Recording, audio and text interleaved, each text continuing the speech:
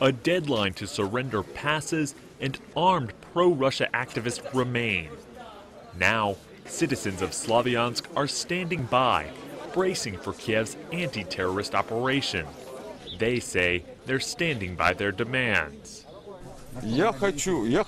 I want a referendum. I want autonomy so that our people would work and earn money. Our people know how to work and know how to earn money, but the authorities give our people the finger. Do you understand? Now, the European Union is scrambling to find a peaceful resolution.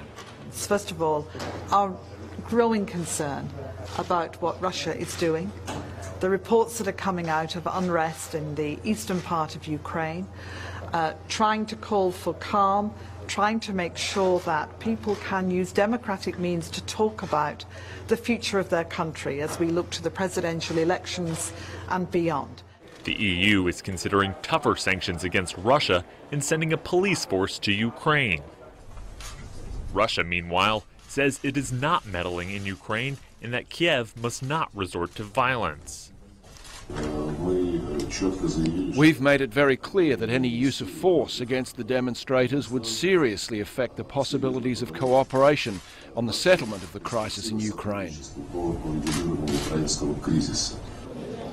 Russia, the US, and Ukraine are scheduled to meet Thursday in Geneva to discuss the situation.